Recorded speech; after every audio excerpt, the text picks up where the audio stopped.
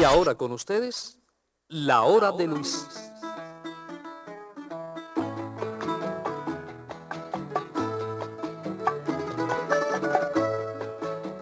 Luis es una revelación, no solamente de la música campesina como improvisador, como el rey de la tonada Carvajal. Luis era un fabulador.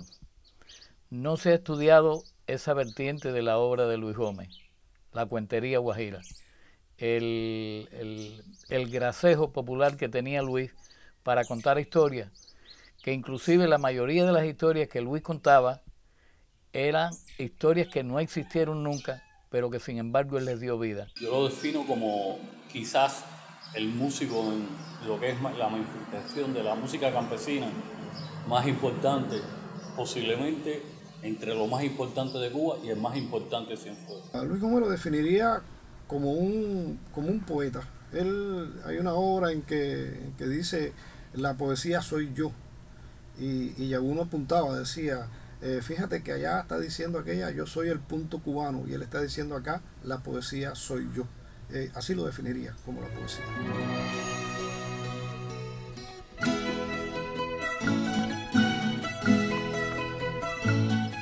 Hay que ir al contexto de de la época en que Luis tenía nueve años.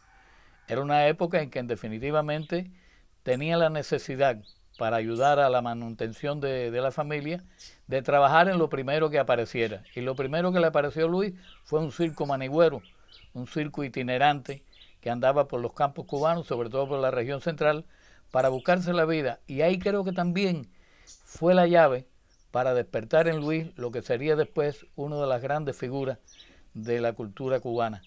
Creo que el circo ayudó mucho a Luis. Fue una ventana abierta al futuro.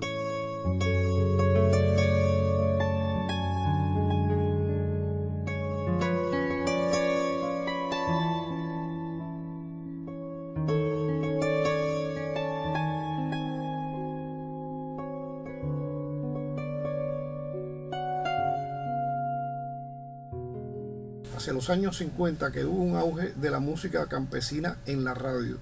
Y Luis anduvo por muchas emisoras. Estuvo en la CMHK de Cruz, estuvo en la CMHW. Incluso él cuenta de que hubo una etapa en que como era un bohemio, no tenía donde dormir, eh, dormía eh, en un estudio de la emisora, se quedaba con la llave, cuando la emisora terminaba de transmitir a las 12 de la noche, le dejaban la llave, se acostaba ahí y dormía en la emisora de radio, de la CMHW. Es decir, que, que Luis fue eh, un agente de radio siempre. Cuando la, música campesina invadió a la radio, Luis junto con, esa, con ese género invadió también a la radio. Por eso no es extraño que haya llegado a la radio de Cienfuegos también.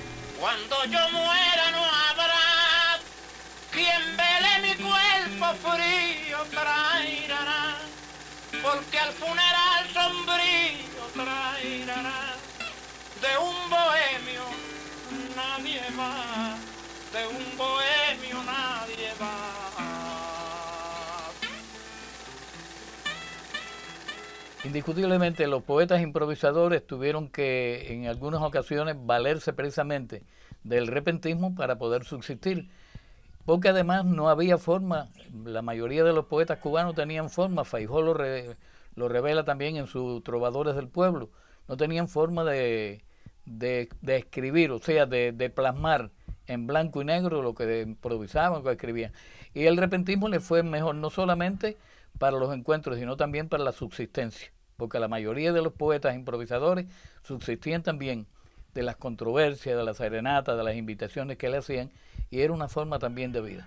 Luis tenía una voz eh, maravillosa que la conservó siempre. Esos son fenómenos, se dan poco, pero se dan. Eh, de personas que a pesar de una avanzada edad eh, mantienen una voz eh, increíblemente buena. Fue el caso de Rosillo como locutor, por ejemplo, de Carlos de la Paz como locutor. Y bueno, en los casos de, cantantes tenemos varios ejemplos. Barbarito Díez estuvo cantando con la misma voz de siempre hasta el final de su vida. Y, Luis Gómez estuvo improvisando y haciendo décimas y cantando con la misma voz siempre, sin variar, sin desafinarse, sin perder los matices esenciales, los giros que tenía su voz, siempre fue Luis Gómez.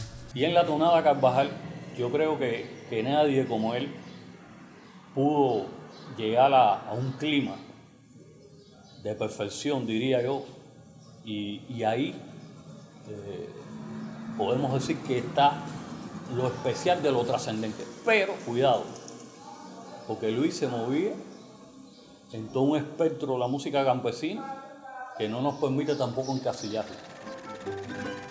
El sombrero que se mueve va cubriendo mi cabeza y en los ojos la tristeza de una tarde cuando llueve.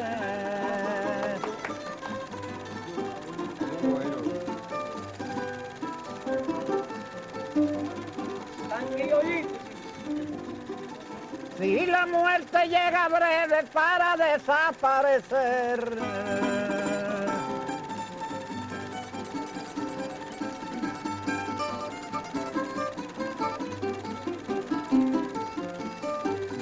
Cuando yo llegue a caer me ponen en ese instante un gallo fino que canta y el beso de una mujer.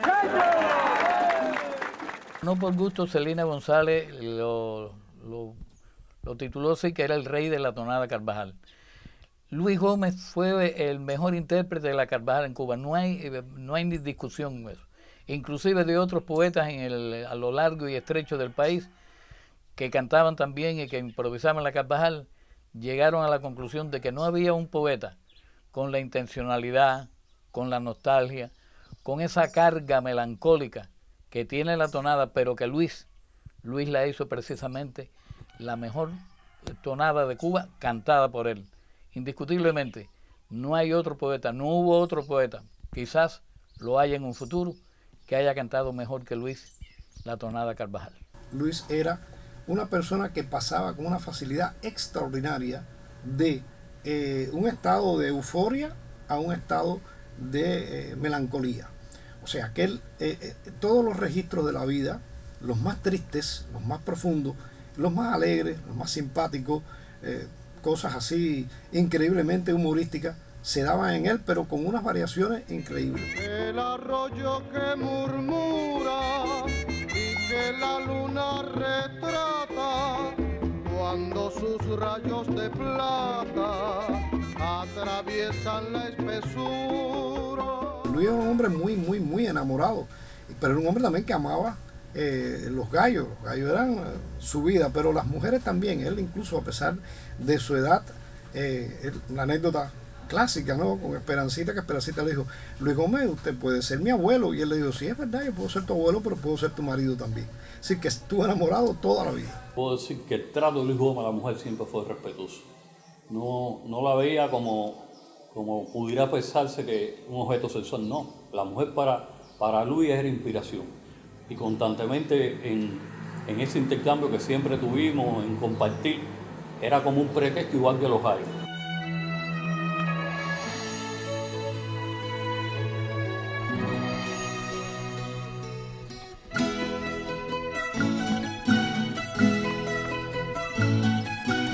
Creo que la obra que leó Luis Gómez trasciende incluso lo propio local, lo propio regional, hasta lo mismo nacional.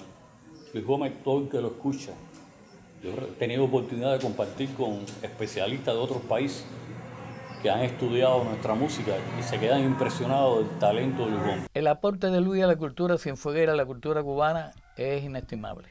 O sea, no se puede medir con un hecho determinado.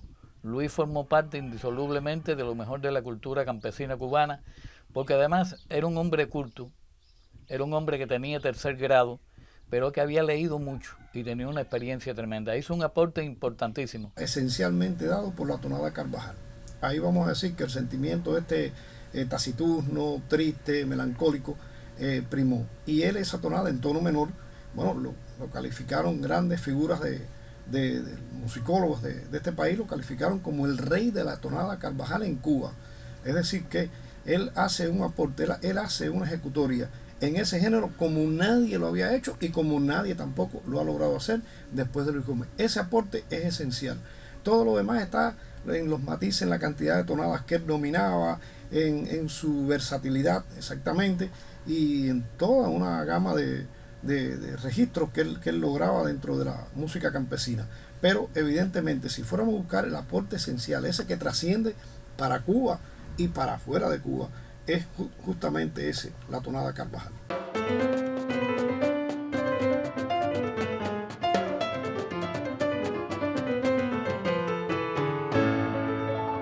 Vienes en tu potro vallo cortando la sitiería y en valles de canturía sueltas a pelear tu gallo.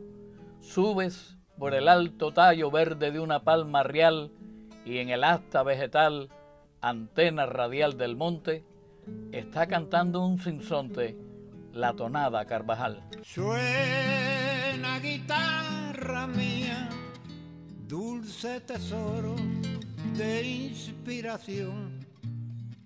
Suena que tú eres libre como el arpegio de mi canción.